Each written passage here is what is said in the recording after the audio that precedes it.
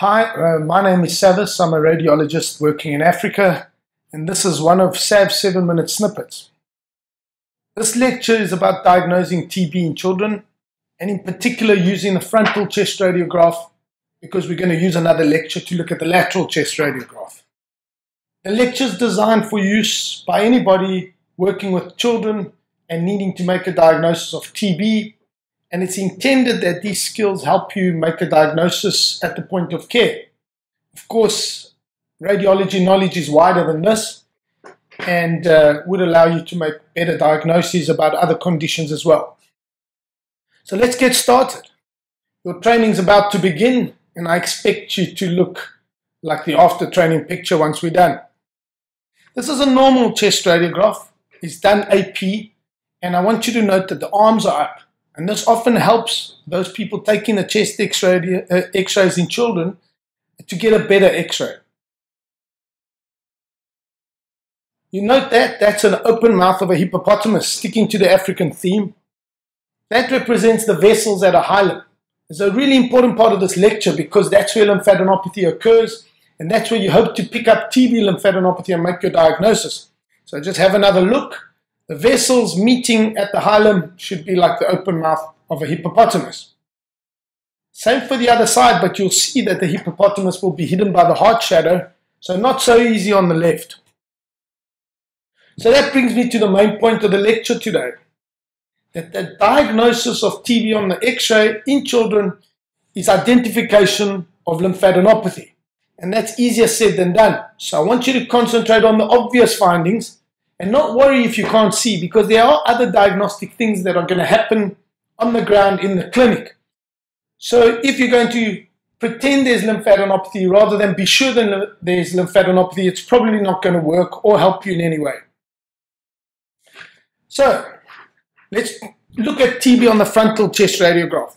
I'm going to remind you, the hilum should look like the open mouth of a hippopotamus. If there's lymphadenopathy, we say it looks like a cauliflower or a mass.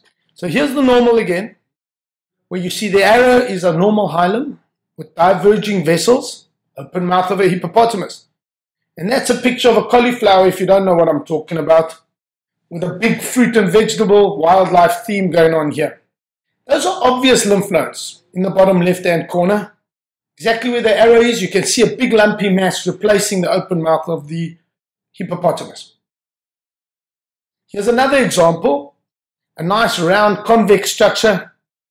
That's right hilum lymphadenopathy, and there's your cauliflower in the right hilum. You could get lymphadenopathy on the left, and if it's big enough, it'll extend beyond the cardiac shadow. So there's a cauliflower sticking beyond the margins of the cardiac shadow on the left. My last point is about identifying calcified lymphadenopathy. That's a calcified lymph node in a patient with a Ghon complex and a Ghon focus. You can see the calcification quite easily in this case, but I want to assure you that it's not so easy most of the time. And we, we rarely see calcification nowadays, even on CT scanning, which is much easier to detect calcification.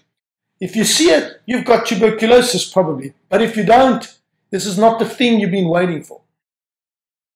I want to make a second important point. It's actually quite hard to see lymphadenopathy in kids. So what you want to do is look for anything that will help you make your diagnosis. I put up an upside down tree because that's what we're dealing with when we talk about the airway in a child. It's a bronchial tree. So they're diverging branches that become thinner and thinner. The important thing is, is that TB lymphadenopathy is firm and hard, and the airway in a child is soft and compressible because of the lack of cartilage. So what you get is compressed airways when the TB nodes are big enough. This should be an indirect sign that helps you make the diagnosis. So have a look. That's a CT scan of the normal airway. Smaller and smaller branches coming off the main branches. And this is TB in a child Again on CT with a coronal reconstruction, you can see the narrow areas of the bronchial tree. You don't have to remember any numbers. That's the beauty. Thinner branches are supposed to be more peripheral. If you've got a big branch further out and a narrower branch more proximally, then you can be sure this is compression. It's not the only cause of compressed airways in children, but when you're looking for TB, it's quite important to look for this particular sign. So let's look at some airways on chest x-ray that are compressed. So I've cornered it in just so that you can see the displaced trachea. So trachea in a child should be to the right because the aortic arch is on the left. If you see the trachea pushed over in a child that's not rotated, then you should worry. And there's a compressed bronchus intermedius, a compressed left main bronchus. I don't need to see the lymph nodes. And as you can see, I'd have a lot of trouble in this case because of the airspace disease or the pneumonia that's going on around it. Here's another example.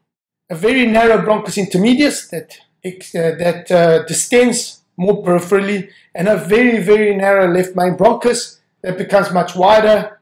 And a third example, there you go. As you're getting it, probably the bronchus intermedius is the most common site of compression. So what I want you to do, this is the kind of a last lesson of the day. You're looking for lymph nodes, you're looking for airway compression, and you've got to be Sherlock Holmes. So if you don't know who he is, he's a famous British investigator from Scotland Yard. So this is quite a difficult case I've put in front of you. You can see there's all sorts of parenchymal disease going on, pneumonia. And it's quite difficult to, to see lymphadenopathy at the hilum because there is no hilum to be seen. If you look through the density, you might see the bronchus compressed over there. Here's another case with breakdown of a parenchymal disease. You look through the density, you can find the bronchial compression. Again, you may be attracted to look at the airspace disease, which is bulging and exudative. If you look through, you'll see the bronchial compression. In all three cases, you know this is tuberculosis because none of the other bacterial pneumonias do that. One more thing, patient with lots wrong with him. There's an effusion tracking up the side, a lamellar effusion. There's airspace disease. You can't see the right cardiac margin. And look through the density. There's your compression. And my last picture of the day is TB isn't just made with lymphadenopathy, which I've led you to believe. If you see bilateral nodules, much like stars in the sky, that's miliary TB. You're probably right making the diagnosis in these conditions too. So that's it for the AP chest radiograph. I hope you've learned that our main job is to look for lymph nodes. And the best way to do that is to make sure that instead of an open mouth of a hippo, you've got a big fat mass of a cauliflower. And the second thing that I want you to walk away with is that airway compression is really important. It doesn't happen in too many conditions, and it could be the only sign of tuberculosis. Now, this is not histological confirmation or laboratory confirmation. It's for you to use at the point of care to help you when you suspect TB while you're waiting culture or other tests. I hope to see you again for the next seven minute snippet, which is the lateral chest radiograph.